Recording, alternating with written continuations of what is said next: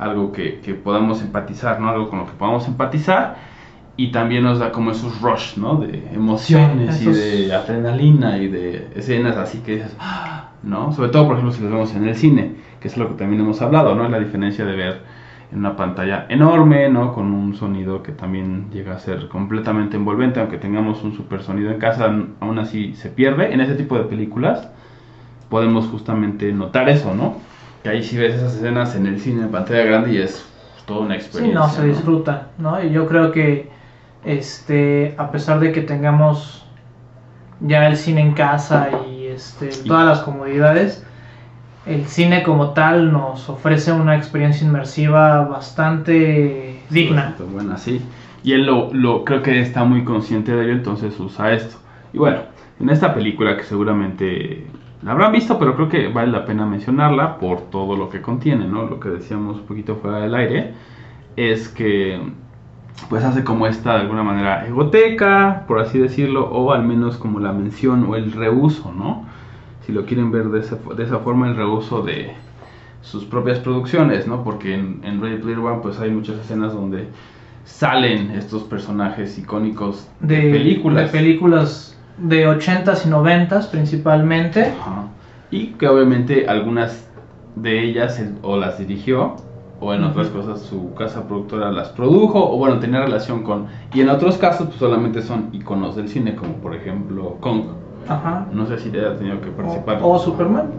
o Superman entonces tiene como todo ese tipo de cosas o Batman no que también lo Sí. menciona o sea digo él, Entonces- está basado en una novela entonces la novela también menciona muchas cosas de la Sí, pero- cultura pop Pero este, yo creo que una de las virtudes de esta película y de la novela es esta añoranza a la nostalgia, que ayuda a enganchar a bastantes públicos. claro y también el momento no o sea por ejemplo, si se dan cuenta, ya tiene algunos años que han estado como este tema justo, ¿no? De lo retro, de los ochentas, ¿no? ¿Por qué?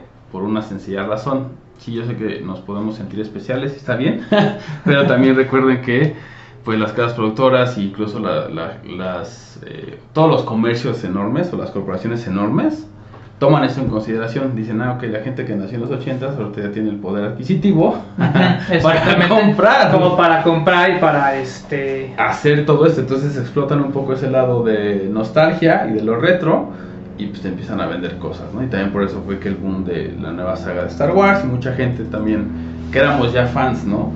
Pero Sí. mejor éramos muy chicos y no podíamos comprar tanto y entonces ahora Dependíamos de. de alguien más, entonces ahora que tienes tu dinero creo que también es una estrategia. Ajá. Pero más allá de eso pues está... Y porque ya también este, se, ha- se han encontrado los nichos de mercados, ¿no? Como son los Peter Kids, que son adultos, que tienen esta nostalgia infantil, pero ahora tienen ese...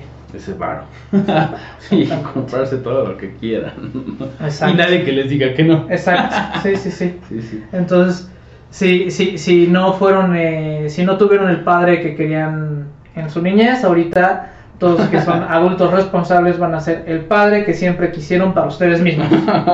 y darse, darse todo lo que todo lo sí. que quieran. Entonces, bueno, usa todo esto de la nostalgia y de lo retro y lo pone, ¿no? Digo, la novela, como dices, también lo hace y lo lleva, creo que bien a la Y pantalla, ¿no? Ahora que recuerdo, hubo varias críticas también este, con respecto al personaje femenino en, En la película. en la película.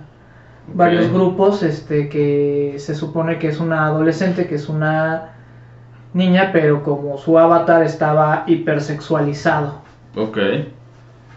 Pues sí, digo, Yo, al final. yo- yo no lo percibí de esa manera, he de ser sincero. O sea, yo estaba, yo estaba viendo otras cosas así, buscando qué personajes había, estaba viendo esta como vida inmersiva en este superjuego. Ajá.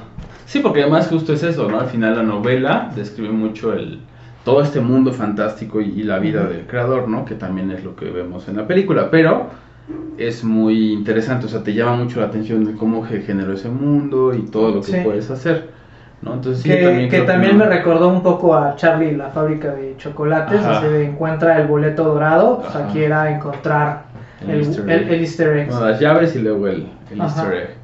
Sí, y también eso es algo padre, porque justo ese, ese tema de la búsqueda de tesoros que también ya vimos en Indiana Jones, pero en un contexto diferente totalmente, porque no es como el aventurero así, sino es Sí. también tienes que usar como tu lógica matemática, por así decirlo. No que el arqueólogo no lo haga, pero bueno, aquí es como distinto. Y si quieren saber este, más acerca de- del viaje de este héroe, les recomendamos el libro este, que se llama así, El viaje del héroe. Así es. Precisamente para que puedan, pues como tener de referencia, ¿no? Sí, ahorita les digo el autor Es de Joseph Campbell. Campbell. De Sí. Joseph Campbell. Es, es bastante interesante, con eso empieza a ver, ¿no? Como ese mito o ese, pues sí, como esa creación, ¿no? Ese arquetipo de personaje que es muy utilizado en el cine. Y lo puedes en entender cine, más en y también como puedes en la literatura, en muchos, muchos lugares en- del arte, vaya. Pero también te ayuda también a un poco a entender, ¿no? Eh, también por dos, te ayuda a entender este tu propia aventura, por así decirlo, tu propia vida, ¿no? Y cómo puedes reflexionar acerca de todo esto, que al final es algo que vemos, por ejemplo, acá en, la película y en la novela, ¿no? De este personaje Wade, que todo lo que le pasa y todo eh, lo que le sucede, que encuentra a los amigos y que, bueno, después le toca defender, ¿no? Y todas estas pruebas, creo que está bastante, bastante bien creada y, bueno, mete todos estos pues no podemos decir cameos, pero Sí, todas estas referencias a, a otras películas de, de esa época. Por ejemplo, el DeLorean, que conduce Wade, sale Kong, sale, Sí, Jurassic- sale el el T-Rex. el T-Rex de Jurassic Park. Entonces tenemos Un montón de referencias. Por ahí hay alguna lista. Yo también he estado haciendo alguna lista. A lo mejor lo voy a publicar en el blog. Sí. Este, la, la, la reseña que tengo por ahí en partes es, es una película que me gustó bastante. Entonces, a lo mejor valdría la pena compartir eso. ¿no? ¿sí? Y pues bueno, ahora los dejamos con algo de Ready Player One para regresar con las recomendaciones.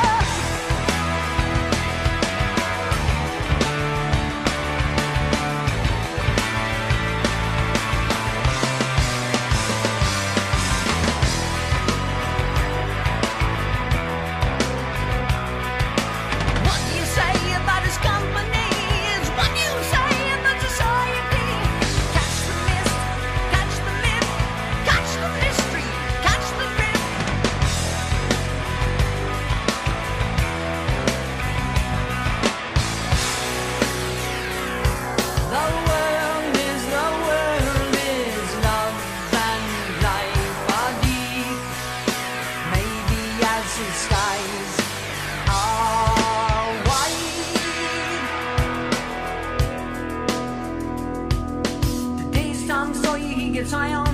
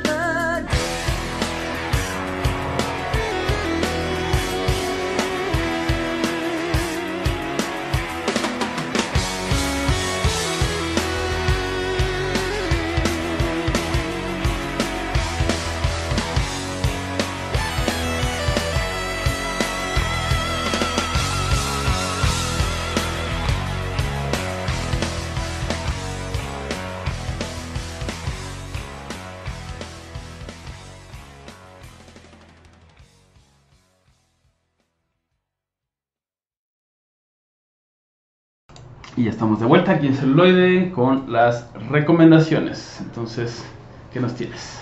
Pues yo, este, apego a la nostalgia y a la infancia perdida. Está bien. Y me voy Siguiendo con. sobre ajá, esa sí, línea. ajá. Y me voy con Hook, el regreso del Capitán Garfio, donde tenemos excelentes actuaciones tanto de Dustin Hoffman como de nuestro querido y fallecido Robin Robin, Williams. Williams. Era muy bueno. o sea, Sí, sí, sí. Donde justamente encontramos que Peter Pan se enamoró de Wendy, de cierto, no- bueno, no de Wendy como tal, De su nieta. Y se quedó para vivir una vida adulta, ya que el amor pues lo hizo madurar y olvidar nunca, Nunca jamás. jamás. Y todo lo demás que Ajá. pasado ahí. Entonces tuvo su vida como de businessman, ¿no? Como de Ajá. negociante, de gente de, Sí, de, de, de... de alta corpora de las altas corporaciones, de dinero, y entonces Y, y qué es lo que sucede cuando tiene que regresar y recordar esta vida pasada. y mágica, ¿no? A rescatar a sus propios hijos. Y yo pues voy a romper un poquito, no voy a ir hacia la nostalgia, sino más bien voy a mostrar ese otro lado, ¿no? Que hablamos un poco en el corte musical entre nosotros, de también está obviamente la lista de Schindler, está Lincoln y está esta que les voy a recomendar, que es el color púrpura, ¿no? Que son como temas más políticos, temas mucho más fuertes y creo que esta pues obviamente tiene la relevancia de, de todo lo que está aconteciendo por ejemplo en Estados Unidos, ¿no? Eh, está una historia eh, basada en, en Georgia sobre un eh, grupo de personas, se enfoca sobre una persona en particular, ¿no? De color y todo lo que empieza a sufrir precisamente por la discriminación y pues todo esto, ¿no? Y es, esta película es del 85, entonces también se me hizo interesante. Uno, como no nada más es Jurassic Park y todo esto tan Exactamente. grandioso y tan espectacular, sino también tiene ese tema de, pues también están estos problemas eh, actuales en la sociedad, ¿no? Y es curioso porque, bueno, actuales en el 85 y ahora actuales en 2020, Ajá, ¿no? exactamente, Entonces, sí. ahí tenemos algo que, que- aprender como sociedad. Que como humanidad. después también de los ríos de color púrpura se avienta el Imperio del Sol, que también es otra gran película basada en la novela homónima, ¿no? Entonces sabemos que es recurrente que el cine retome. Sí, claro, si se dan cuenta y les hemos dicho por ahí en algunos de los primeros capítulos Sí. del año pasado, muchas películas están basadas en libros, ¿no? Entonces siempre van a tomar de ahí uno y dos, pues también no todo es glamour, a veces también hay que meter un poquito de, de las cosas que están causando pues que la humanidad no, no crezca, no avance o sea como una de esas heridas abiertas, ¿no? Exacto. Y pues bueno, esto ha sido todo de nuestra parte. Yo soy Roberto Uribe. Y yo soy Bala Mendoza. Gracias y hasta la próxima. celuloide, Celuloide. celuloide. La otra, la otra, La otra La otra perspectiva.